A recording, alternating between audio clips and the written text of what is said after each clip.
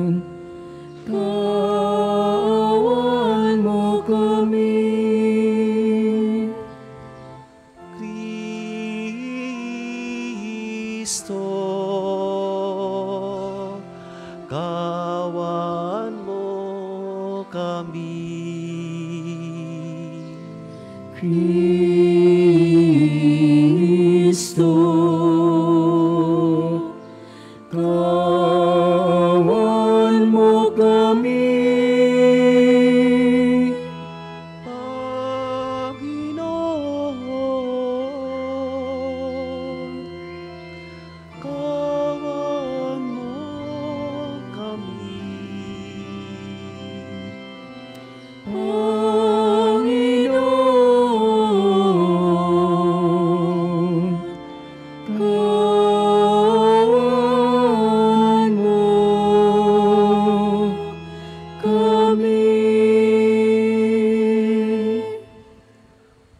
Manalangin tayo. Ama naming makapangyarihan, lakas ka ng mga walang inaasahan kundi ikaw. Ang pagluhog namin iyong pagbigyan sapagkat kami mga tao lamang na pawang mahihina kapag iyong iniwanan. Kaya naman kami lagi mong tulungan upang sa pagtupad ng iyong mga kautusan, ikaw ay aming mabigyan ng kasiyahan sa aming iniisip at ginagawa sa araw-araw sa pamamagitan ni Heso Kristo kasama ng Espiritu Santo magpasawalang hanggan. Amen.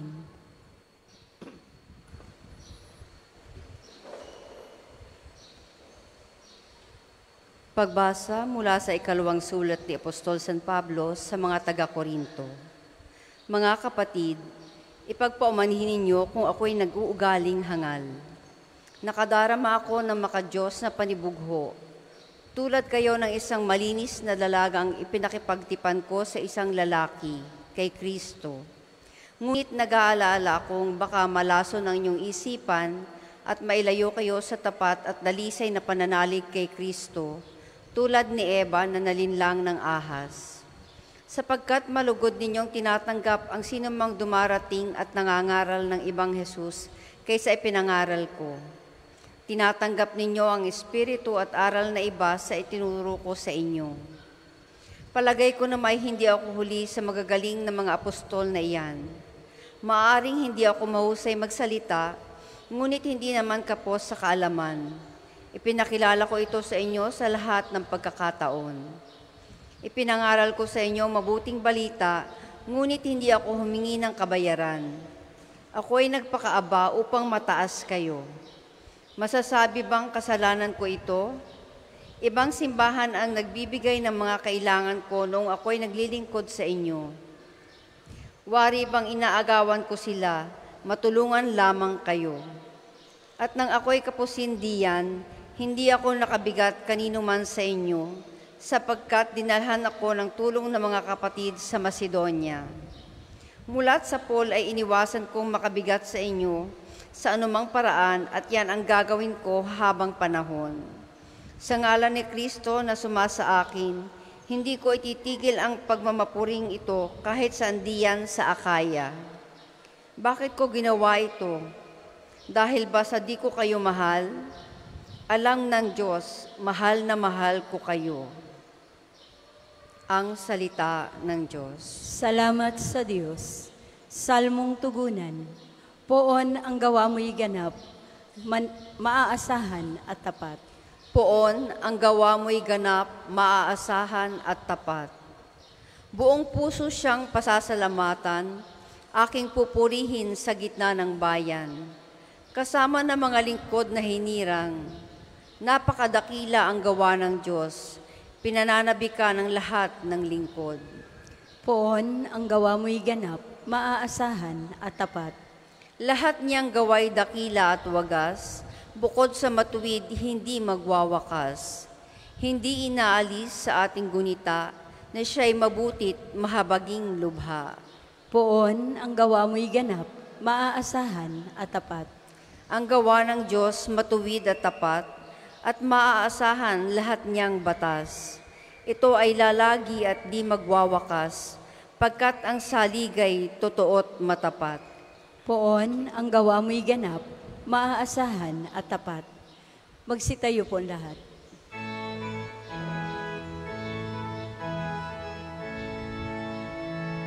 Alleluia,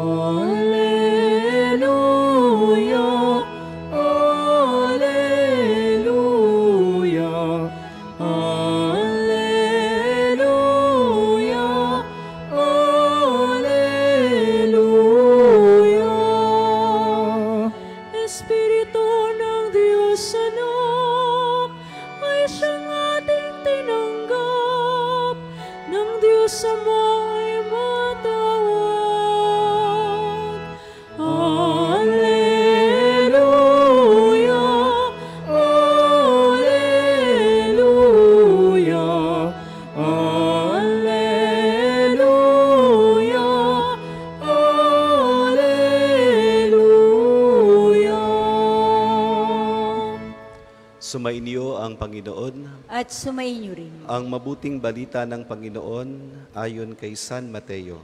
Papuri sa iyo, O Panginoon. Noong panahong iyon, sinabi ni Jesus sa kanyang mga alagad, Sa pananalangin ninyo'y huwag kayong gagamit ng napakaraming salita gaya ng ginagawa ng mga hintil. Ang akala nila'y pinakikinggan sila ng Diyos dahil sa dami ng kanilang salita. Huwag ninyo silang tutularan sapagkat alam na ng inyong Ama ang inyong kinakailangan bago pa ninyo hingin sa Kanya. Ganito kayo manalangin. Ama naming nasa langit, sambahin nawa ang pangalan mo. Ikaw nawa ang maghari sa amin. Sundin nawa ang iyong kalooban dito sa lupa tulad ng sa langit. Bigyan mo kami ng pagkain kailangan namin sa araw na ito at patawarin mo kami sa aming mga kasalanan tulad ng aming pagpapatawad sa mga nagkakasala sa amin. At huwag mo kaming iharap sa mahigpit na pagsubok, kundi ilayo mo kami sa masama. Sapagkat iyo ang kaharian at ang kapangyarihan at ang kapurihan magpakailanman. Amen. Sapagkat kung pinatatawad ninyo ang mga nagkakasala sa inyo, patawarin din kayo ng inyong amang nasa langit. Ngunit kung hindi ninyo pinatatawad ang mga nagkakasala sa inyo, hindi rin kayo patawarin ng inyong ama. Ang mabuting balita ng Panginoon. Pinupuri ka namin, Panginoong Heso Kristo. Magandang tanghali po sa atin pong lahat. Magandang tanghali po, Father. Kahapon po ay aking pinagninilayan ng ating ebanghelyo ngayong araw na ito. At ang pumasok po sa isip ko ay kung sino ho yung nagturo sa akin na manalangin. No? Ang alam ko ho ay inaturuan kami ng aming ina at ama. No? Inaakay ang aming mga kamay sa pagsangalan ng Ama, Anak at Espiritu Santo. Tapos ay yung akin hong lola, ay madasalin, kaya natutunan din ho namin dun sa aming lola ang magdasal. At naalaala ko ho, nung kami mga bata pa, pagdating ho ng alas 6 ng hapon, ay inapa-bless po kami sa kanila. Inapamano dun sa kamay ng mga mahatanda. At isa rin sa mga nagturo ng panalangin sa amin ay yung atin hong mga katikista. No? Inapasa ulo ho nila. At pagkatapos ay inapasulat sa papel at inalagyan ng grade kung tama. No? Kaya yung tanong ko sa aking sarili ay yung nagturo sa akin ng kung paano manalangin. Kaya sa inyo ho, magandang itanong din ho ninyo sa inyong sarili at ating balikan, sino ba yung nagturo sa atin kung papaano tayo manalangin. Maaaring ang inyong mga magulang at maaaring ang inyo rin pong mga naging katikista. Sa Ebanghelyo, ang nagturo sa atin ng panalangin ay ang ating Panginoong Heso Kristo. At ito daw pong panalangin tinuro sa ating, ng ating Panginoong Heso Kristo ay pagtatagpo ng tao at ng Diyos. Kaya yun daw pong ating panalangin, bagamat hindi naman talaga kailangan ng Diyos ang ating panalangin sapagkat siya'y Diyos. Wala na siyang kailangan eh, Diyos siya eh. Hindi niya kailangan ng ating pagsamba sapagkat siya'y Diyos na makapangyarihan sa lahat. Nasa Kanya na ang lahat ng kabalhati at ang kapurihan. Kaya pag tayo daw ho'y nagdarasal, nakikipagtagpo tayo sa Diyos at yung biyaya ng ating dasal ay bumabalik ho sa atin. At ito daw po yung perpektong paliwanag. Mayroon daw pong isang magaling na composer ng awit na ito. Atin hong pakinggan at pagnilayan. Ama namin, sumasalangit ka, sambahin, pababa, para sa atin.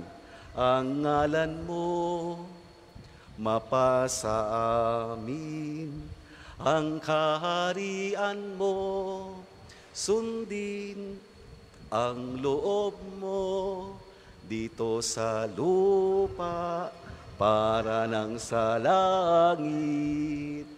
Hindi po yung napaka-perpektong pagkakalikha ng pagkakalapat ng tunog ng Ama namin. Dahil yung ating pagsamba sa Diyos, paakyat sa Kanya, yung biyaya ng ating dasal ay bumabalik sa atin. Kaya kung tayo daw po hindi nagdarasal, ay di walang babalik. Ano? Nga naman, ano? Hindi naman niya kailangan dasal natin eh. Perfecto siya eh.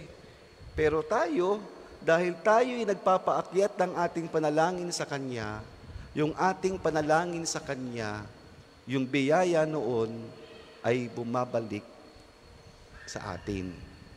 Kaya ang sabi ko sa inyo kanina, kung tayo hindi namumuhunan ng pagdarasal, ay di walang babalik. At ipinapaalaala sa atin na ang panalangin ito ay ang mismong Panginoong Heso Kristo ang nagturo sa atin. Kaya mas maganda daw po yung title ng panalangin ito sa Ingles. Ano ang ating tawag dito? Hindi ho Our Father. Ang tawag natin dito ay the Lord's Prayer. Ang panalangin ni Jesus na itinuro niya sa atin. Ngayon, itong panalangin ito ay mayroon hong paalaala. Ano, yung unang bahagi, inawit na ho natin. Doon sa ikalawang bahagi, ay asabihin ng ating Panginoong Kristo, Bigyan mo kami ng pagkain kailangan namin sa araw na ito. Ibig sabihin, talagang araw-araw kitang mamumuhunan. No? Eh, tingnan ninyo, pagka tayo nagdarasal, pagka mayroong kailangan, pag maraming inapagdaan ng pagsubok, yan. Pagka makuha ng board exam, yan. Pagkatapos ng board exam at nakapasa, oh, hindi na nabalik. Pag nakuha na yung kailangan niya, oh, kaya yung pinapaalaala sa atin araw-araw, hindi sinabi ng ating Panginoong Kristo, bigyan mo kami ng aming kakanin para sa buong linggong ito. Kaya yung panalangin natin sa Diyos ay kailangang ating gawin araw-araw. Abay, Father, eh, wala naman akong kailangan eh. Ah, isipin ninyo, pag kayo ho, mayroon kayong maraming pera, anong inagawa ninyo? Inaimpok nyo nang naimpok sa bangko. Ala, hindi mo naman kailangan eh, hindi mo naman nagagamit eh. Impok ng impok. Minsan i-invest mo pa. Pag ikinagipit, may yung daw, withdraw ka. Ay kung wala kang naiipon, ay papaano na? Hindi wala kang makukuha. Pero, wala man tayong pangangailangan, naglalagay tayo ng naglalagay ng naglalagay, at namumuhunan tayo ng namumuhunan ng panalangin sa panahong kailangan natin, aba, ay may makukuha ka. Kaya ang sabi ni Jesus, araw-araw. At ito pa, patawarin mo po kami katulad ng pagpapatawad namin sa nagkakasala sa amin. Ay matindi. May nagkumpisa ho sa akin. Ang sabi niya ho ay, Father, patawarin niyo po ako sapagkat hindi ko ho kayang patawarin yung akin hong kapatid na pagkasama-sama ng ugali. Sabi ko sa kanya ay, ikaw ay humihingi ng tawad, pero ikaw naman ay ayaw magpatawad.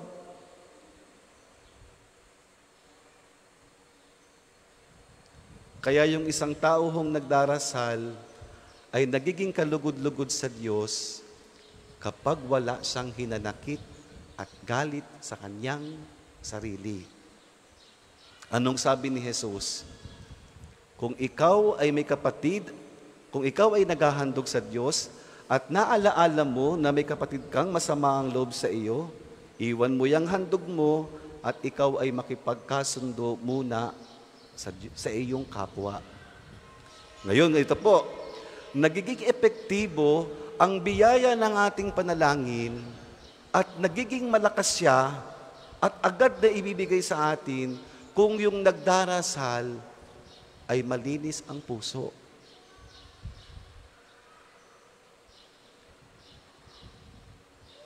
Pero pag ikaw ay nagdasal, Santo Padre Pio, ako po naman ay sana ipagalingin mo sa akin pong karamdaman.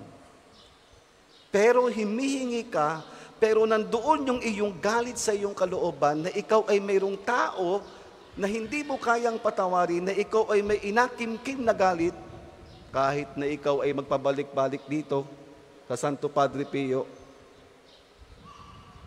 Pero kung yung puso mo'y totoo, dalisay, at wala kang taong ginagawa ng masama, walang taong naghahinanakit sa iyo, at wala ka ring hinanakit, ay nagiging kalugod-lugod ang panalangin mo. Kaya hindi tayo simpleng nagdarasal ha. Hindi ho simpleng nagdarasal. Kahit iki magsakripisyo pa, lumakad ka papaluhod kapag mayroong kang galit sa iyong kalooban, hindi yan epektibo. Kaya alam niyo ho kung sino po yung napakalakas magdasal, yung daw hong taong mapagpakumbaba. Yan daw ho'y napaka-epektibo ng dasal. Agad daw hong inakalugdan ng Diyos pag ang isang tao sa kanyang sarili mapagpakumbaba. Napakalakas daw niyan. Kaya pag kayo'y mahingi ng dasal, sabihin nyo sa inyong kapwa, pag alam mong siya'y napakabuting tao, napaka mapagpakumbaba, walang hinanakit sa kapwa, walang sama ng loob sa kapwa, walang naghahinanakit sa kanya, yan daw ho. Yang lakas daw po niyang magdasal. Sapagkat yun ang sabi ng ating Panginoong Kristo. At yung panghuli, bahagi talaga ng ating buhay ay yung ating hinihingi palagi sa Kanya na kami po ay huwag mong ihaharap sa mahigpit na pagsubok at ilalayo mo po kami sa lahat ng masama. Sapagkat sa buhay natin, hindi ho nawawala ang pagsubok. Sa buhay ho natin, hindi ho nawawala ang masama. Pero kapag tayo'y nagdarasal, pinagagaan ng Diyos yung bigat ng ating pagsubok at inilalayo niya tayo sa masama. Balik tayo sa aking tanong. Kung hindi tayo nagdarasal, ano ang babalik sa atin? Ano? ho? Kung hindi tayo namumuho ng magdasal, ano ang babalik sa atin? Sapagkat ang ating panalangin ay umaakyat sa Diyos at ang biyaya nito'y bumabalik sa atin. Pero may paalaala, araw-araw at dapat ay malinis ang puso. Nagpapatawad at walang hinanakit. Tama na po yun. Umawit po tayo ng awit sa pag-aalay. Para po sa mga maghahandog ng sobre, pakihulog na lamang po sa buslo.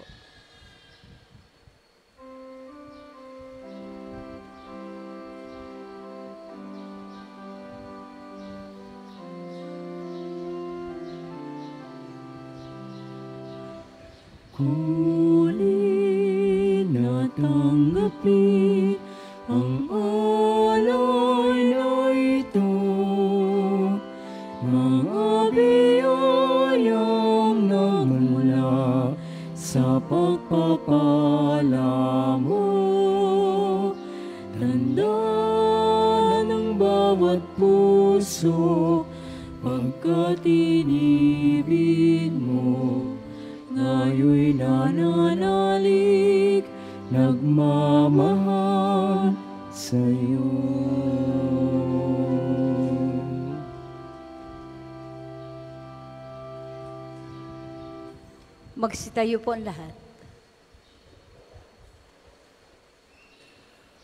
Manalangin kayo mga kapatid upang itong ating paghahain ay kalugdan ng Diyos sa mga makapangyarihan. Tanggapin nawa ng Panginoon itong paghahain sa iyong mga kamay, sa kapurihan niya at karangalan sa ating kapakinabangan at sa buong sambayanan niyang banal.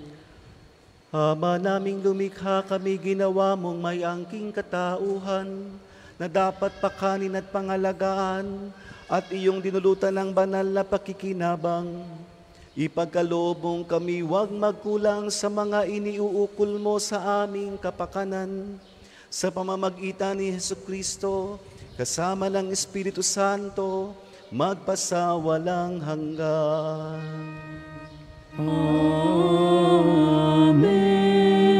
Sumainyo ang Panginoon. At sumainyo rin. Itaas sa Diyos ang inyong puso at diwa. Itinas na namin sa Panginoon. Pasalamatan natin ang Panginoong ating Diyos. Marapat na siya'y pasalamatan. Ama naming makapangyarihan, tunay ngang marapat na ikaw ay aming pasalamatan. Pinagbibigyan mong ito'y aming maihayag kahit na ito'y walang anumang maidaragdag sa kadakilaang sa iyo ay likas. Sa pagpupuri nami ang nakikinabang ay kami ring iyong pinakikiharapan sa pamamagitan ng iyong anak na minamahal. Kaya kaisa ng mga anghel ang nagsisiawit ng papuri sa iyo nang walang humpay sa kalangitan, kami nagbubunyi sa iyong kadakilaan.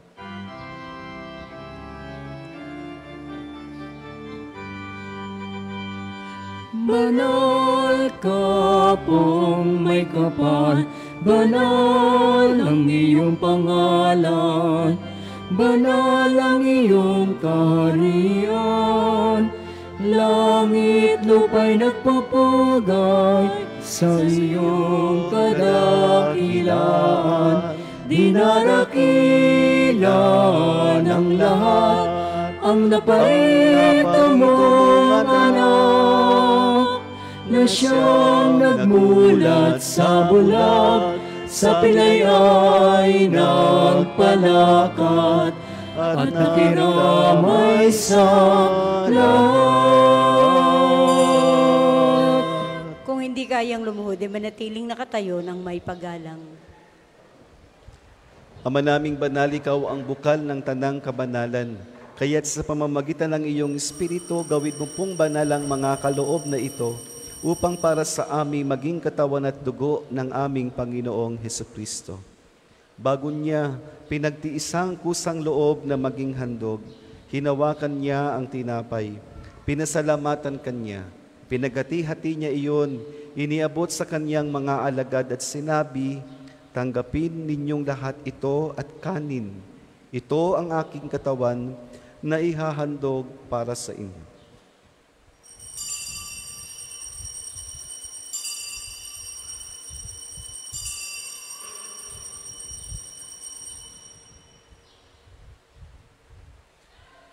Gayun din naman nung matapos ang hapunan, hinawakan niya ang kalis. Muli kanyang pinasalamatan. Iniabot niya ang kalis sa kanyang mga alagad at sinabi, Tanggapin ninyong lahat ito at inumin. Ito ang kalis ng aking dugo ng bago at walang hanggang tipan. Ang aking dugo na ibubuhos para sa inyo at para sa lahat sa ikapagpapatawad ng mga kasalanan. Gawin ninyo ito sa pag-alaala sa akin.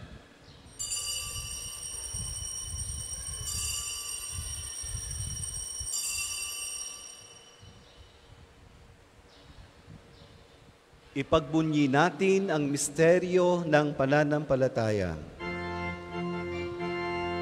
Sa krus mo't pagkabuhay, kami natubos mong tunay. Pong Jesus naming mahal, iligtas mo kami tanan. Ngayon at magpakailanman, ngayon at magpakailanman. Ama, ginagawa namin ngayon ang pag-alaala sa pagkamatay at muling pagkabuhay ng iyong anak. Kaya tiniaalay namin sa iyo ang tinapay na nagbibigay buhay at ang kalis na nagkakaloob ng kaligtasan. Kami nagpapasalamat dahil kami iyong minarapat na tumayo sa harap mo para maglingkod sa iyo. Isinasamo namin kaming magsasalo-salo sa katawan at dugo ni Kristo'y mabuklod sa pagkakaisa sa pamamagitan ng Espiritu Santo. Ama, lingapin mo ang iyong simbahang laganap sa buong daigdig. Puspusin mo kami sa pag-ibig kaisa ni Francisco na aming Papa at ni Gilbert na aming Obispo at ng Tanang Kaparian. Alalahanin mo rin ang mga kapatid naming nahimlay na may pag-asang sila'y muling mabubuhay, gayon din ang lahat ng mga pumanaw. Kaawaan mo sila at patuloyin sa iyong kaliwanagan. Kaawaan mo at pagindapatin kaming lahat na makasalo sa iyong buhay na walang wakas. Kaisa ng mahal na Berheng Maria na ina ng Diyos, ang kanyang kabiyak na pusong si San Jose. Kaisa ng mga apostol ni Santo Padre Pio at ang lahat ng mga banal na namuhay sa daigdig na ito ng kalugod-lugod sa iyo. Maipagdiwang nawa namin ang pagpupuri sa ikararangal mo sa pamamagitan ng iyong anak na aming Panginoong Heso Kristo. Sa pamamagitan ni Kristo, kasama niya at sa Kanya, ang lahat ng parangal at papuri ay sa iyo, Diyos Amang makapangyarihan, kasama ng Espiritu Santo, magpasawalang hanggan. Amen, Amen, Amen. Amen.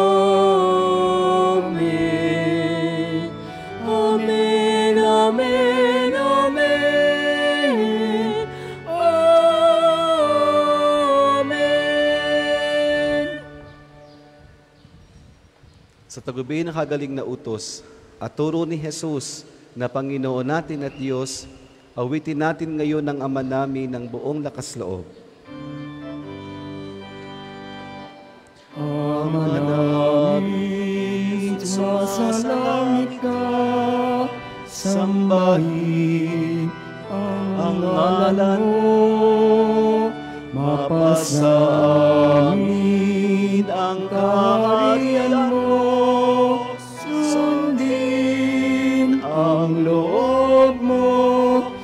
dito sa lupa para ng sa langit.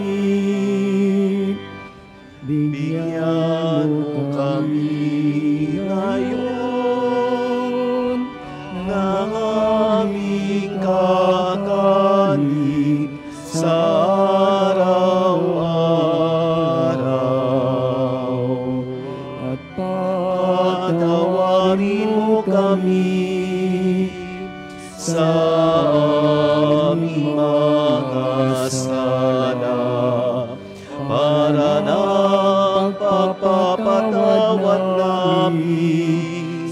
sa nagkakasala sa amin at huwag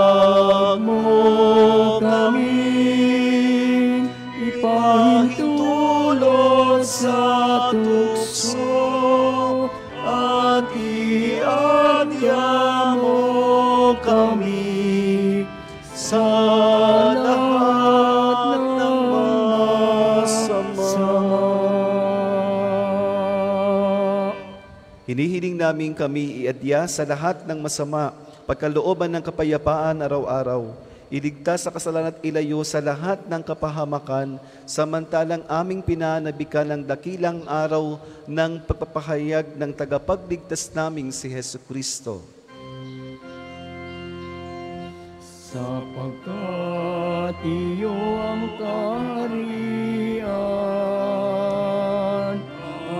ang kapangyarihan at ang kapurihan magpakailanman. Amen.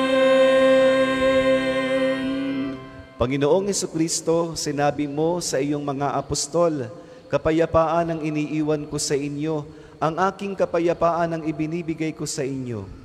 Tunghayan mo mo ang aming pananampalataya at huwag ang aming mga pagkakasala at pagkalooban mo kami ng kapayapaan at pagkakaisa ayon sa iyong kalooban, kasama ng Espiritu Santo, magpasawalang hanggan. Amen. Ang kapayapaan ng Panginoon naway laging sumainyo. At sumainyo rin. Magbigayan kayo at maghangad ng kapayapaan sa isa't isa. Kordero ng Diyos, sa nag-aalis sa mga kasalanan ng sanlibutan, maawa ka sa amin. Kordero ng Diyos, sa nag-aalis sa mga kasalanan ng sanlibutan, maawa ka sa amin. Kordero ng Diyos, na nag-aalis ng mga kasalanan ng sanlibutan, ipagkaloob mo sa amin ang kapayapaan. Kung hindi kayang lumuhod ay manatiling nakatayo ng may paggalang.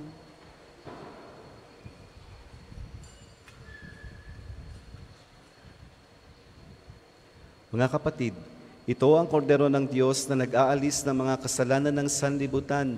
Mapapalad tayong lahat na kanyang inanyayahang dumulog sa kanyang banal na piking. Panginoon, hindi ako karapat-dapat na magpatuloy sa iyo. Ngunit sa isang salita mo lamang ay gagaling na ako.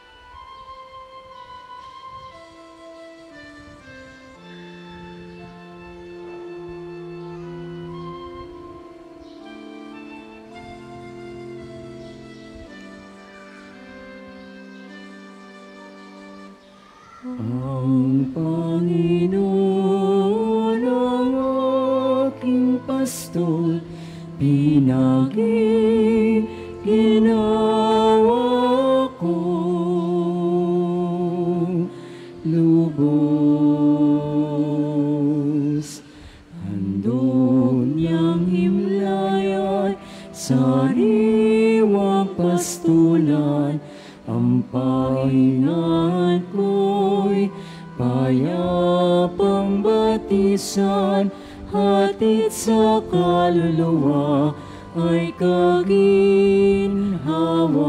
sa tumpak na landas, siyang patnubay.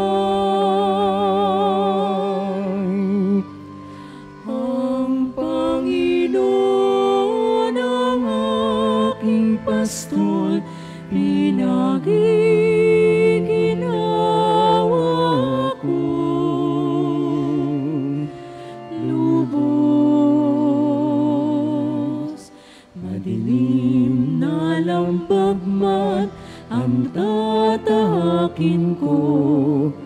Wala akong sindak, siya ay kasama ko.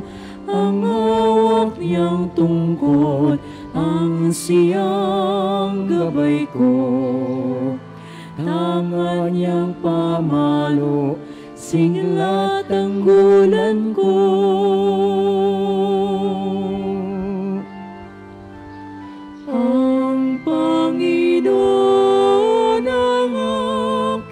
Pastol, pinagiginawa ko. Lubos.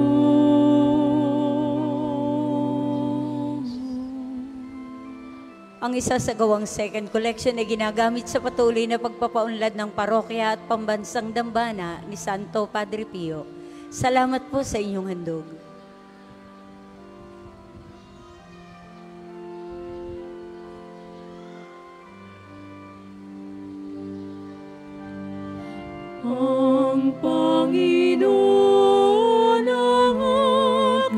Aking pastol,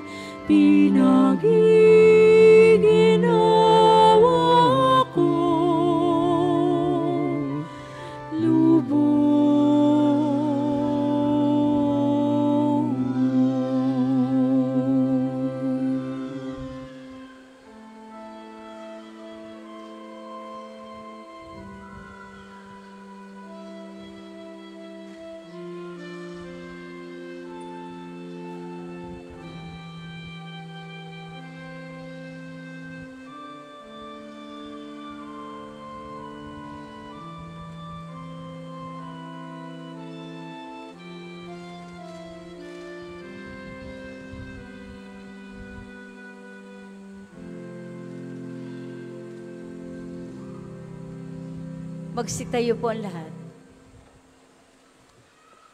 Manalangin tayo.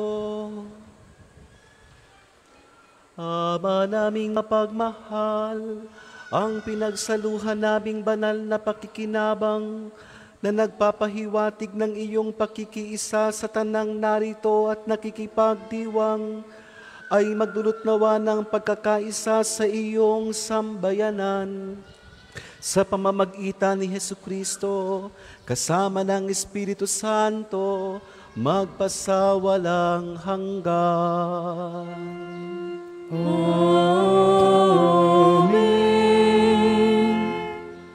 Panalangin ng pagtitiwala kay Santo Padre Pio. Tayo pong lahat.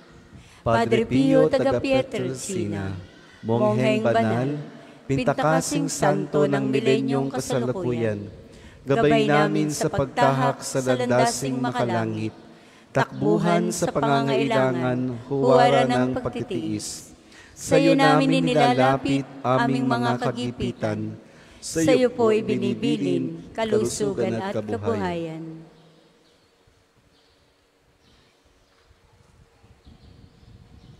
Di man karapat-dapat kami po ay pagbigyan, bendisyonan at basbasan, maging ganap sa buhay.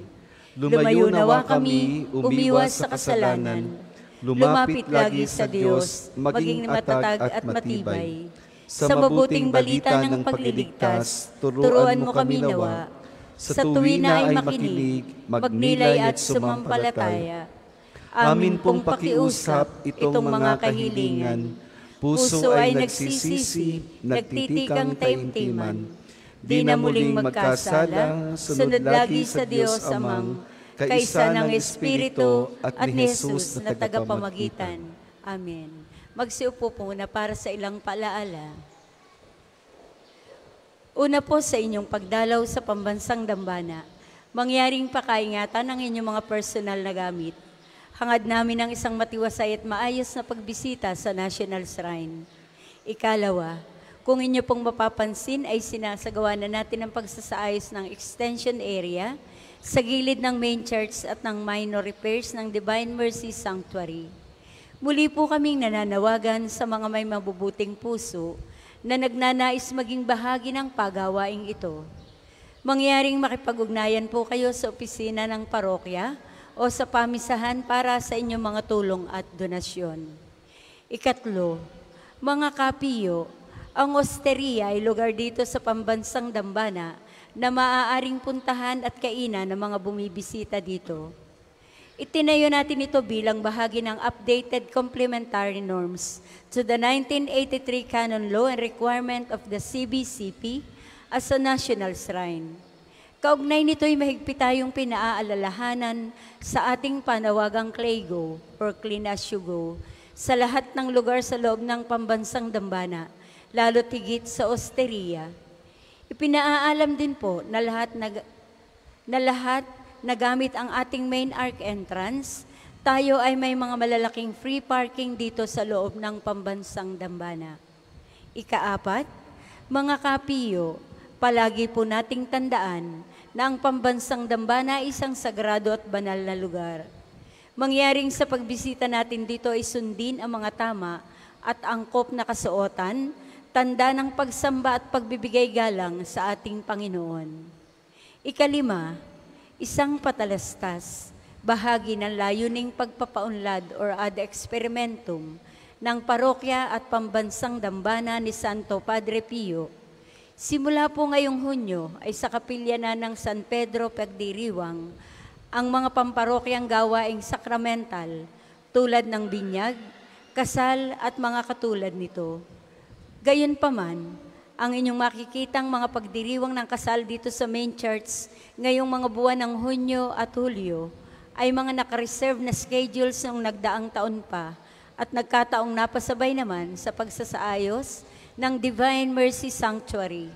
Mangyaring makipag-ugnayan kayo sa opisina para sa mga paglilinaw at katanungan. Ika-anim, bukas po ikadalwamputatlo ng buwan, ang araw ng pagpapagaling ng Panginoon sa pamamagitan ni Santo Padre Pio.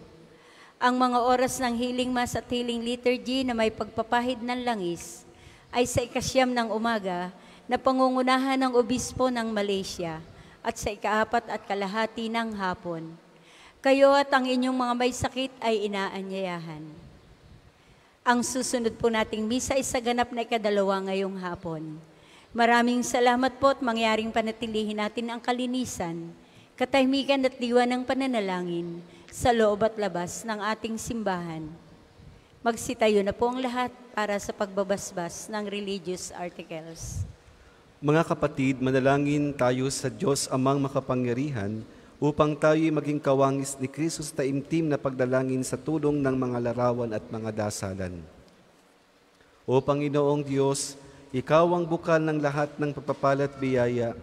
Ibuhos mo ang iyong bendisyon sa mga gamit na ito sa pa- pananalangin, mga rosaryo, imahin, dasalan at mga langis na nagpapaalaala ng iyong kabutihan, kabanal at pagmamahal sa amin upang ang lahat na dumulog at magdasal gamit ang mga ito ay magtamo ang, ng iyong awat biyaya.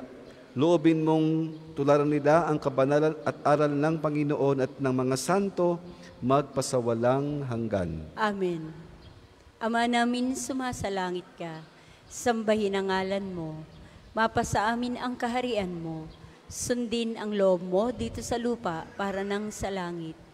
Bigyan mo kami ngayon ng aming kakanin sa araw-araw at patawarin mo kami sa aming mga sala para ng pagpapatawad namin sa nagkakasala sa amin. At huwag mo kaming ipahintulot sa tukso at iadya mo kami sa lahat ng masama. Amen. Aba, Ginoong Maria, napupuno ka ng grasya. Ang Panginoong Diyos ay sumasa iyo. Bukod kang pinagpala sa babaing lahat, at pinagpala naman ang iyong anak na si Jesus. Santa Maria, ang Ina ng Diyos, ipanalangin mo kaming makasalanan, ngayon at kung kami mamamatay. Amen. Papuri sa Ama, sa Anak, at sa Espiritu Santo, kapara noong una, ngayon, at magpa sa walang hanggan. Amen. Ama namin, sumasalangit ka, sambahin ang ngalan mo, mapa sa amin ang kaharian mo, sundin ang loob mo dito sa lupa para nang sa langit. Bigyan mo kami ngayon ng aming kakanin sa araw-araw, at patawarin mo kami sa aming mga sala, para ng pagpapatawad namin sa nagkakasala sa amin. At huwag mo kaming ipahintulot sa tukso, at iadya mo kami sa lahat ng masama. Amen. Aba, Ginoong Maria, napupuno ka ng grasya. Ang Panginoong Diyos ay sumasa iyo. Bukod kang pinagpala sa babaing lahat, at pinagpala naman ang iyong anak na si Jesus. Santa Maria, Ina ng Diyos, ipanalangin mo kaming makasalanan, ngayon at kung kami mamamatay. Amen. Papuri sa Ama, sa Anak, at sa Espiritu Santo, kapara noong una ngayon at magpasa walang hanggan. Amen. Sumainyo ang Panginoon. At sumainyo rin. Pagpalain kayong lahat ng makapangyarihang Diyos, Ama, Anak at Espiritu Santo.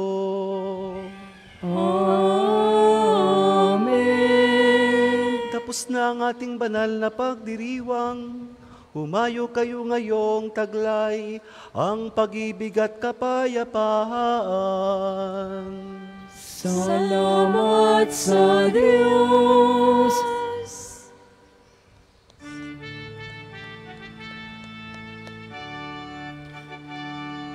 Umawit kang masaya, umawit kang masaya sa Panginoon.